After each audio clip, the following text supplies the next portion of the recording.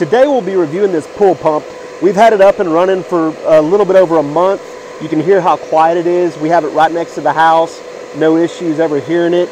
It's been a really reliable pump. I'll show you some of the features of it and we'll go from there. All right, so a couple things about, about this pump. Uh, one thing is it's not really that heavy. It's a little bit under 50 pounds. So if you're actually setting it up, installing it yourself, that's gonna be uh, super helpful because uh, you can carry it yourself. Uh, you can, it's it's running right now. It's it's it's quiet. Um, you're going to get a lot of energy savings out of this, depending on what your who your energy provider is and all that kind of stuff.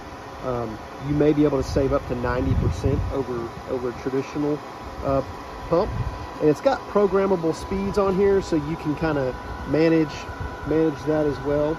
Um, there because there's not a lot of noise, there's not a lot of vibration, which will uh, should should extend the pump life because it's not moving around and vibrating. So um, again, main features, uh, you hear how quiet it is. It, it, can be as quiet as 45 decibels.